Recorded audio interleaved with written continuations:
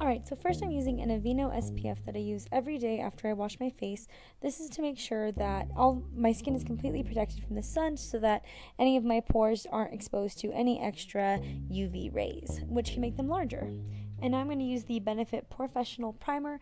This has been a great primer for my large pores, which is a result of oily skin. And I use a pretty small pea size amount to cover my entire face, and I've been absolutely loving it. Next, I'm using my CoverGirl Stay Fabulous Outlast 3 in 1 foundation in 825 Buff Beige. This is a good drugstore foundation that covers up all of your imperfections with moderate coverage as well as really blurs out your pores again. The nice thing is that it has a good color match, and I really like using mine with my Beauty Blender. I find that this is the best way to apply my foundation that I've ever tried. After using multiple different brushes, my fingers, I finally realized that the Beauty Blender is my absolute favorite tool when it comes to applying foundation.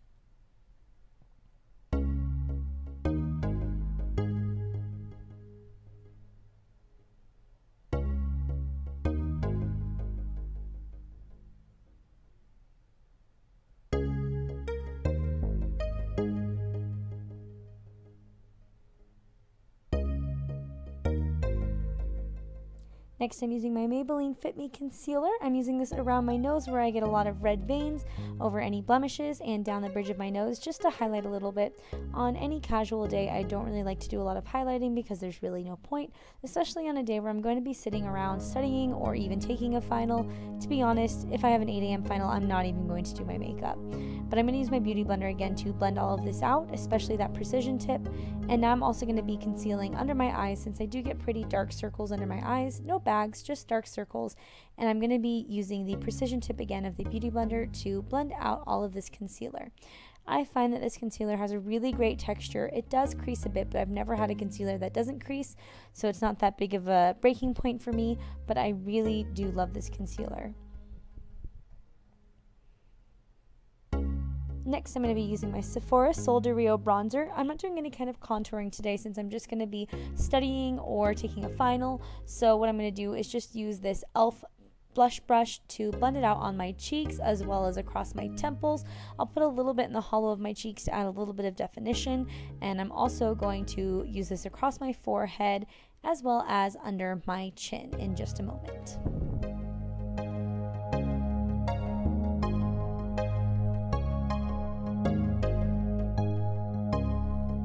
And next, I'm going to be using my Bare Minerals Ready Luminizer in the Daydream, having a little bit of difficulty opening it, but it's a nice pink blush that also has a little bit of highlight to it, so it kind of serves all of your purposes in one without having to add any extra product.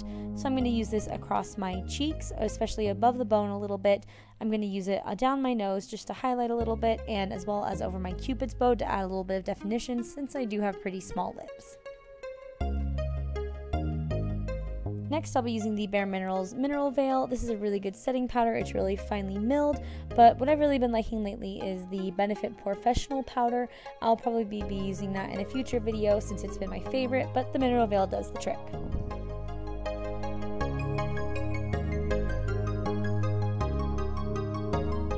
Next, I'm going to be combing up my eyebrows with this little clean mascara wand and moving on to eyeshadow with this Clinique Trio. I'll be using the lightest shade in it first, which is kind of like a champagne, with a flat shader brush from Bare Minerals. And I'm just going to put this all over my lid as well as across my crease and my brow bone. It's just a good all over shade to add a little bit of shimmer to your eyes so they don't look so veiny or uh, so translucent.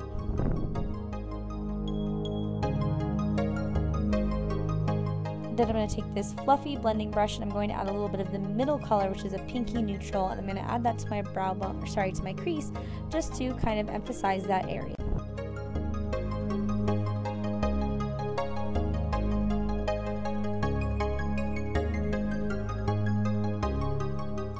I'm using my Urban Decay 24-7 Glide On Pencil um, from the Naked Basics set, and this is called Crave. I'm going to be using this to tight line, and I'm going to go back in with that flat shader brush to blend out any black that got under my eyes, because that day I was having a really hard time tight lining, and also back in with my Beauty Blender with any excess concealer to cover up any smudges that may have occurred. And I'm going to repeat this process on my other eye as well.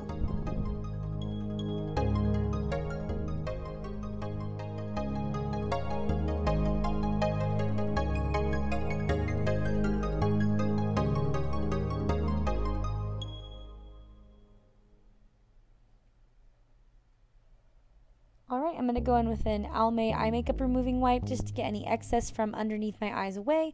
And then with my Rimmel Scandaleyes Nude Eyeliner, I'm going to do my waterline just to kind of make my eyes open up a bit more and look a bit brighter. I have pretty small eyes, so I try to give them a lot more emphasis than usual. And again, I'm going to go in with that eye makeup remover wipe just to remove any that may have gotten on my bottom lashes or underneath my waterline that may be unwanted.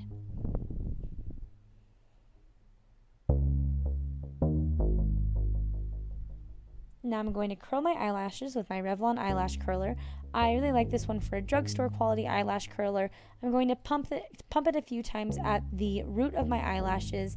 I never hold it for too long and actually crimp them, so pump it a few times and then move out to the edges and pump it a few more times to give a nice subtle curl to your eyelashes. It looks a lot more natural. Now with my Clinique High Impact Mascara in black, I'm going to be applying mascara to both of my eyes on the top and bottom lashes. And I'm going to be using just the usual shake at the bottom and pull out to the top method for applying your mascara. I really like this mascara because it doesn't really clump up. It also makes them look really natural and separated, and I haven't had any problems with it.